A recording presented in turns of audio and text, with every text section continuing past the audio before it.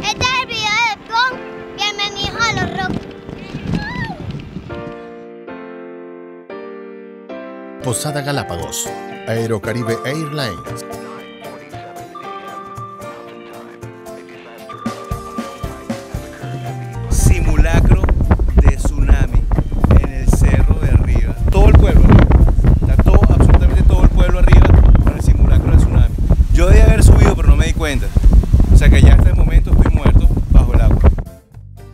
12 en punto y vamos vía Madrid Madrid que supongo que debe ser algo así como el Mucu en Mérida, que significa el lugar, porque aquí todo es esquí.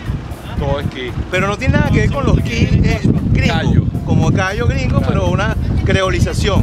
Claro. Ah, no, lo- no, no lo había pensado. no. Key, Pero, es pero Francis Key, Key. claro. Pero aquí lo, lo, lo pusieron. Cuy, A ver, Francis Key. Cayo Francisco, pues. Alquería. No. Alquería. Y flow. Yo nunca había ido a un concierto de desorden público hasta noviembre de 1990, cuando una novia que yo tenía me invitó para escuchar en Descomposición, el concierto inaugural del disco de desorden público. Y yo así, no, esa banda no, qué fastidio, qué fastidio. Fui a ese concierto y me enamoré. Fue amor a primera vista. Pasé el resto de mi vida conectado con los desorden públicos. Pero eso, aunque parece que ese cuento no tiene nada que ver, hizo que estuviera una enfermedad. Gracias a estar pegado tomándole fotos a ellos en los conciertos al lado de la corneta, tengo laberintitis. Así, para mí no hay horizonte y el, y el equilibrio es así. Entonces montarme en cualquier bote me pone como una niñita llorona, me tengo que acostar aquí y ponerme a, por favor, siento que estoy así como una montaña rusa. Vamos a ver qué tal nos va. Que el mar se ve picadito, pero la vaina es cerca. No garantizo nada. Se vale llorar, ¿no?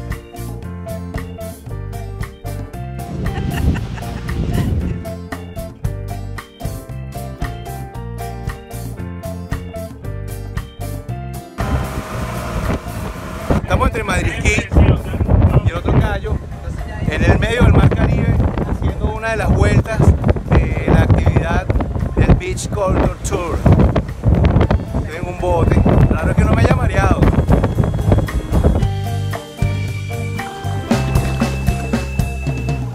Damos el callo y vamos para el Gran Roque.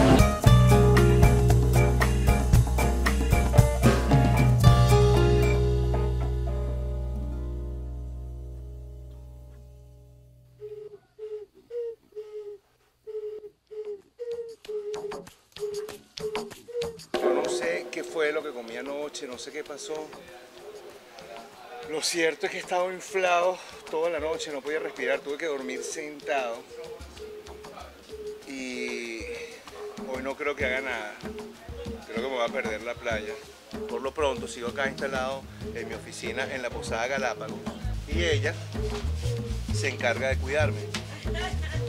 Y el chef también, Paola, todo el mundo en esta posada me está tratando de una manera increíble. Porque si no fuera así, créanme que estuviera tirado en la cama de lo mal que me siento. Miren el desayuno lo que va a ser. Limonada y lechosa. Eso sí es mala suerte. 30 años sin venir para los roques y vengo y me enfermo. ¡Qué cagada!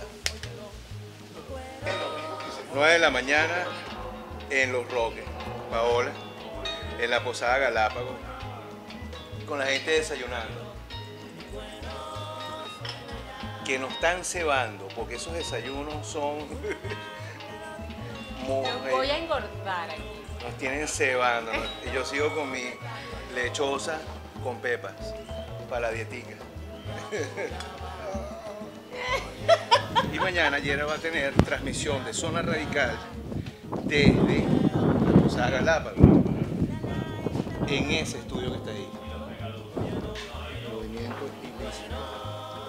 Te vamos a dar unas cajas de salchichas para, tú abres la latica y se va a dar como merienda los niñitos que están practicando eh, con las tablas. Pero necesito que me documentes que gracias a la fundación de Tripas Corazón, porque eso me lo mandan de afuera y yo se lo mando a la gente para que vea que sí se utilizaron sus alimentos, ¿ok? Síguenos en las redes, arroba de tripas corazón Venezuela. Lo que a ti te sobra para otras personas es de mucha necesidad. Aquí estamos en una jornada de tripas corazón colaboren con ellos. De verdad, estamos haciendo una labor muy hermosa y sobre todo esta crisis con niños con tanta necesidad. Un beso, los quiero, colaboren. Marty, Marta y Tania trabajan para una fundación que se llama De Tripas Corazón. Y trajeron estas salchichas para dársela ahora a los chamos en la laguna de Gran Roque durante la competencia.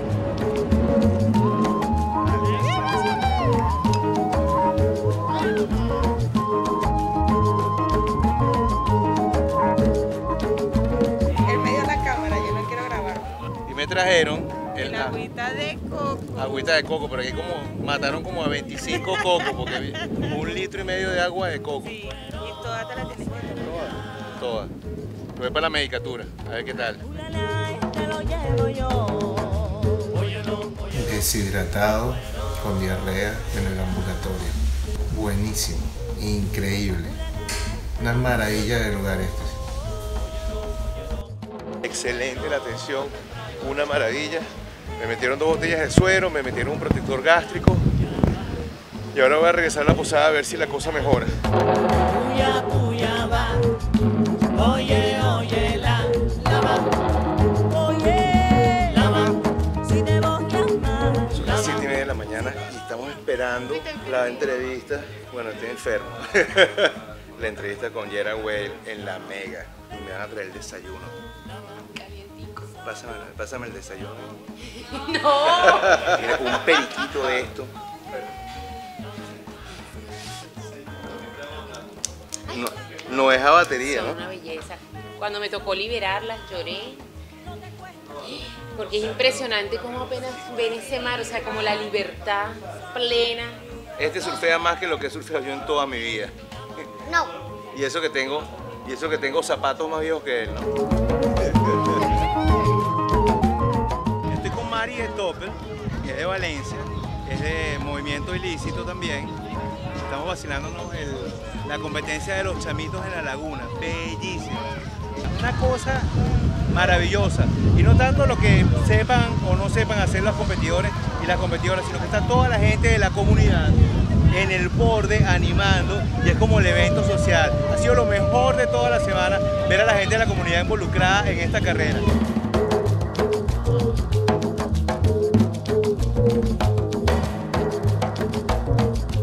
Quedó en segundo lugar y ahorita viene para la próxima competencia. No tiene por qué llorar porque es todo un campeón. Mira la edad que yo tengo y no me sé montar en una tabla de Windsor. Cristina, una de las enfermeras del ambulatorio, Petra Marcano, fue una de las que me metió ayer la vía cuando me dio quién sabe qué, toda la, la cosa monetaria. Y ella, de curiosa, dijo, ah, otro turista fastidioso, que la ella con ese bicho. Entró y dijo, le quedan dos Mompresol, no me los gaste con ese peludo.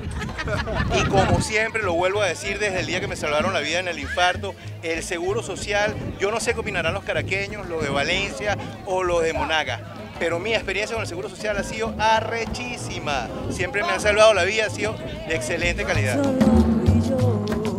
Bueno, le estamos presentando todos los roques. Es un patinetero Los Roques. Los Roques tiene una plaza, que seguramente es la Plaza Bolívar como todas las plazas de este país. Tiene una Plaza Bolívar de 10 metros por 10 metros cuadrados. Es el único pedazo de cemento pulido que hay en toda la isla, en todo el archipiélago.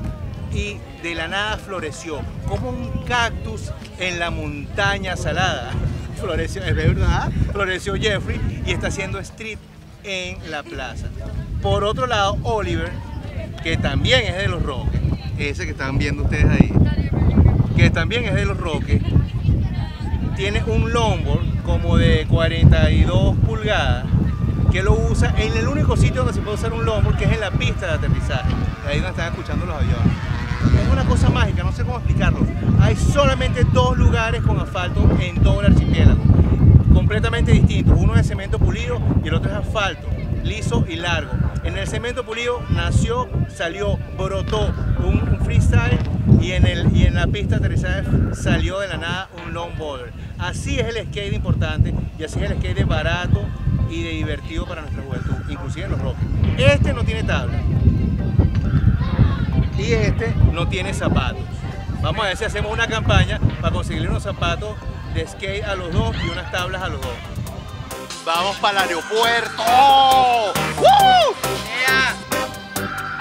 Son las seis y media de la tarde. Estoy en el aeropuerto de Los Roques. Le voy a dar al longboard.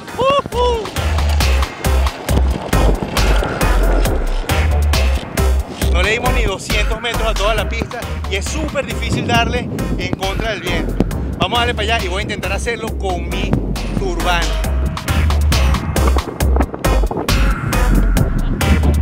Ahora con el viento en la espalda.